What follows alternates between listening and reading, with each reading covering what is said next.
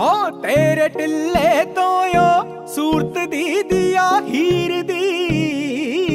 ਤੇਰੇ ਟਿੱਲੇ ਤੋਂ ਓ ਸੂਰਤ ਦੀ ਦਿਆ ਹੀਰ ਦੀ। ਓ ਵੇਖ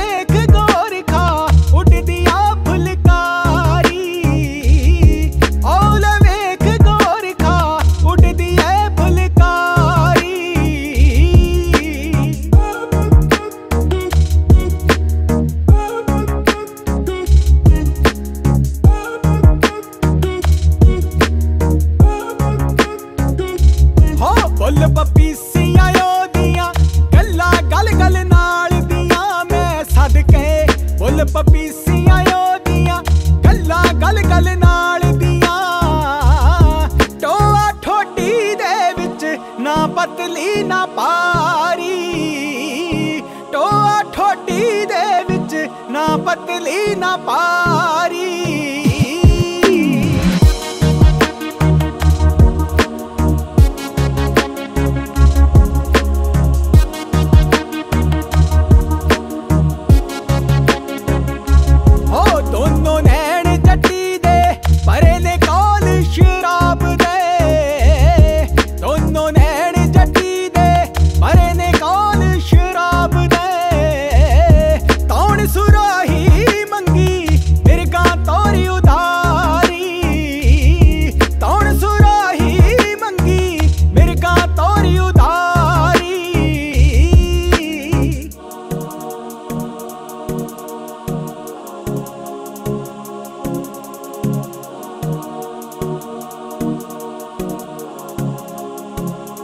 ਹੋ ਜਾ ਕੇ ਖੇੜਿਆਂ ਦੇ ਪਿੰਡ, ਦਰਸ਼ਨ ਕਰੀਏ ਹੀਰ ਦੇ ਮੈਂ ਸਦਕੇ।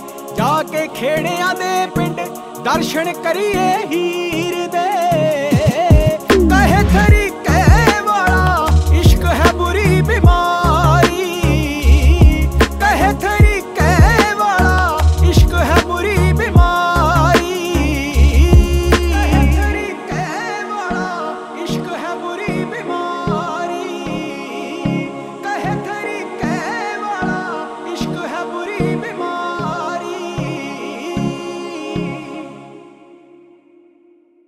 ਸਤਿ ਸ਼੍ਰੀ ਅਕਾਲ ਦੋਸਤੋ, ਤੁਸੀਂ ਹੁਣੇ-ਹੁਣੇ ਸਾਡਾ ਕਵਰ Song ਤੇਰੇ ਟਿੱਲੇ ਤੋਂ ਸੁਣਿਆ, ਦੇਖਿਆ।